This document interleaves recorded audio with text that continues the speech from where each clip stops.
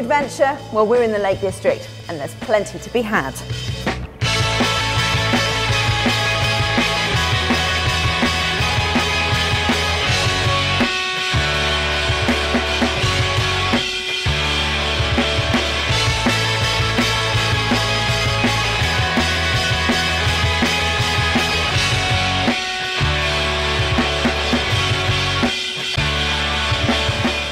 Cumbria is a fantastic place for cycling and it's home to a unique event. The Fred Whitton Challenge draws riders from across the world for a test of fitness and stamina over the highest passes in the Lake District.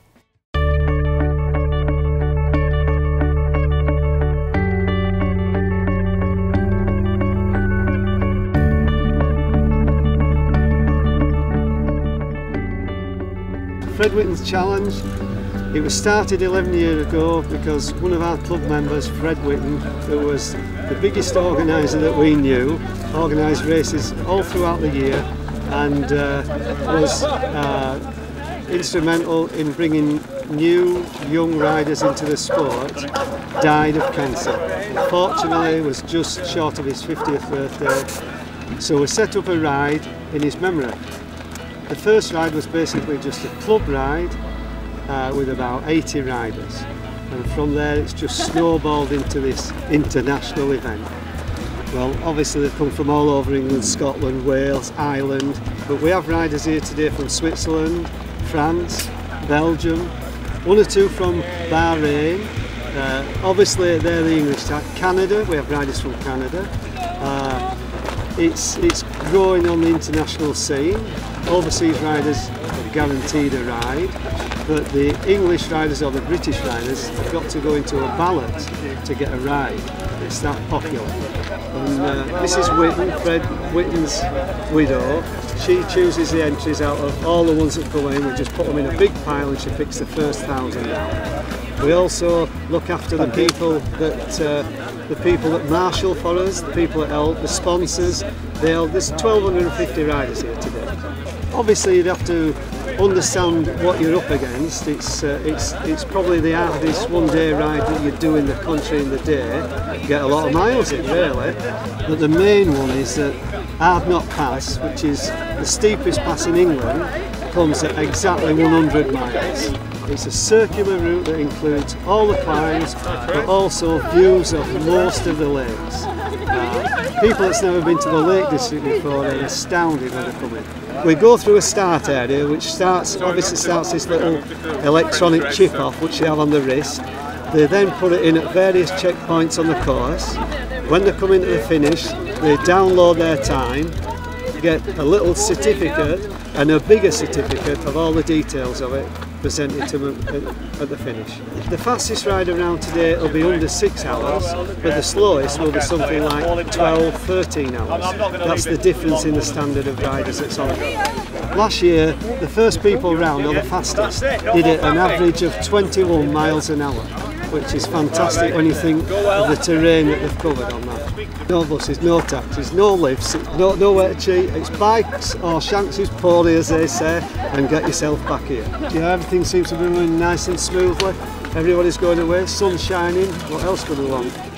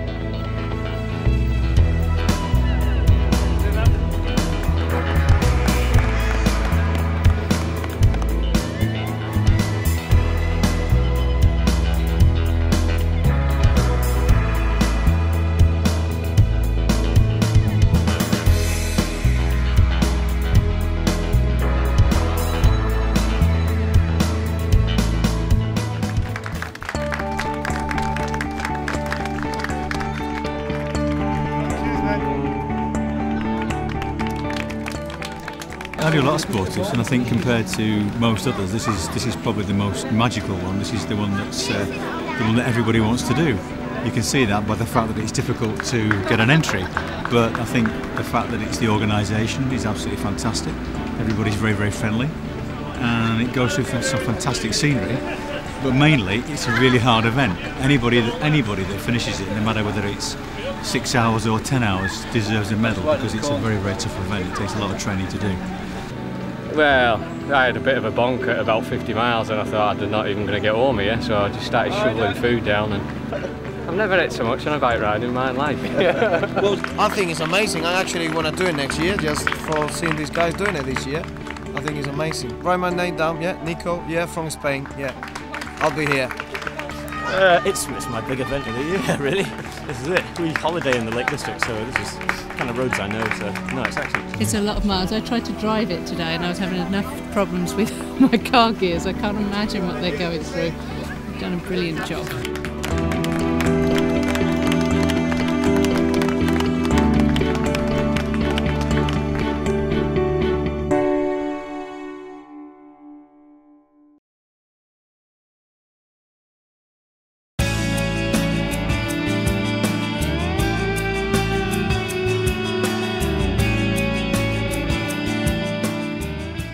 Reach Beyond Adventure is an adventure activity company based in the Northern Lake District near Ullswater.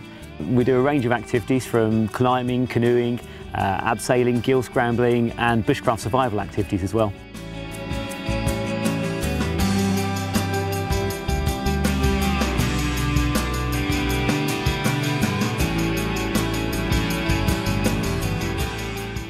So today we have a, a group of eight children, uh, a mixture of ages who've just come along to, to experience some of the outdoor activities.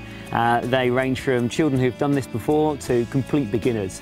And, and our aim is for them to have a, a chance to go out and try these activities and, and really get out there in the outdoors.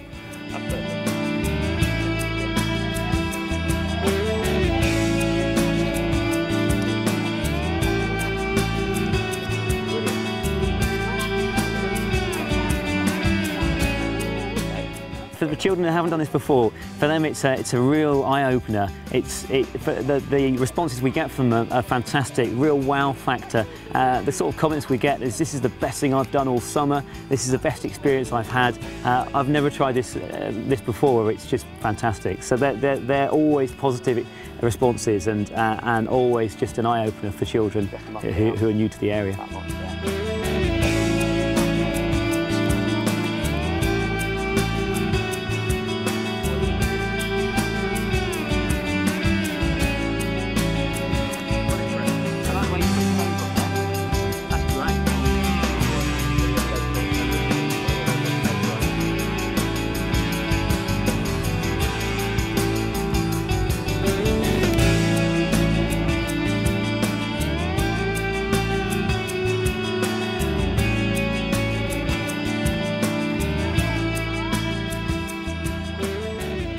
Adult groups like to go, generally like to do something a bit more adventurous, so they might go for perhaps some climbing, some ridge scrambling, uh, just to, to possibly some canoeing or even the sea kayaking where they can go and push themselves a little bit more, just that little bit more of an adventure.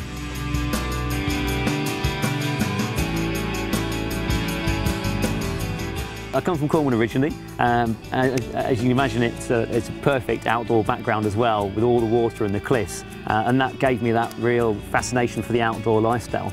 And, and from there, I've continued following my, my route north, uh, mostly following the mountain area, so spending time in Snowdonia and then finishing here in, uh, in the Lake District where it's perfect. We've got everything that, that you could want for outdoor adventure, the lakes and the mountains. It's got everything you'd want from an adventure playground. Uh, in fact, compared to most of the places in the UK, for me this is it, this is where I want to be. So much diversity, and, and I've travelled all over. I've been, I've been to places in Europe, and, and the Lake District equals, if not at times betters, those places. There are some activities which lend themselves better uh, across all the year. And canoeing is a good example of that because uh, you can be out in almost any weather conditions and it's still perfect for that. So we're going to go canoeing, and some of the things that we need before we go canoeing, uh, first of all, safety is the most important thing, right? So we need a, a buoyancy aid to keep you afloat if you do, do go swimming and saying hello to the fish, and we also need a paddle. We need the right sized kit for you so that you've got something that, that does fit. Ideally, the paddle needs to be somewhere between chest height and nose height. Yeah, if they're really up here, then it might be a bit tricky, but it's still possible. But if they're down here, that's a problem, they're too small. Canoeing, going in the open canoes is, is perfect, whether you're experienced or, or you're a novice. And after a, a, few, few minutes of tuition, a bit of coaching, then you're skilled up and ready to go, and, go and explore.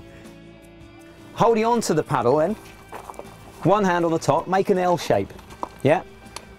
Hook that over the top of your thumb, and then your fingers go over the top and rest on top.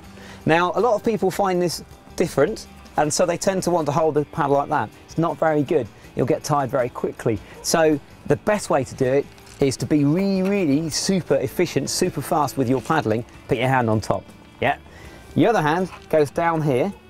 This is going to do all the power work and this is going to be like a lever. Do you see what I'm doing with my hands here? My hand's staying fixed and I'm using my top arm to power through. Groups, let's get these floating.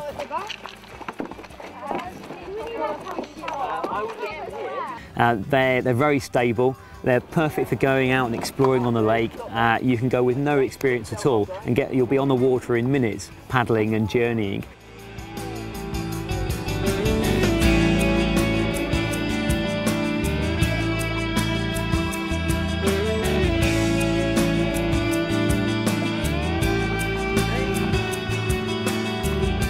Well, when people come to the Lake District, uh, they want to do a little bit more than just walking and exploring the, the touristy areas. They want to get out there in the outdoors and experience something that's a little bit different. And the sort of services that people get from, from organisations like ourselves brings more and more people to, to the area each year. And that's really putting us on the map, the Lake District on the map, for a, an adventure destination.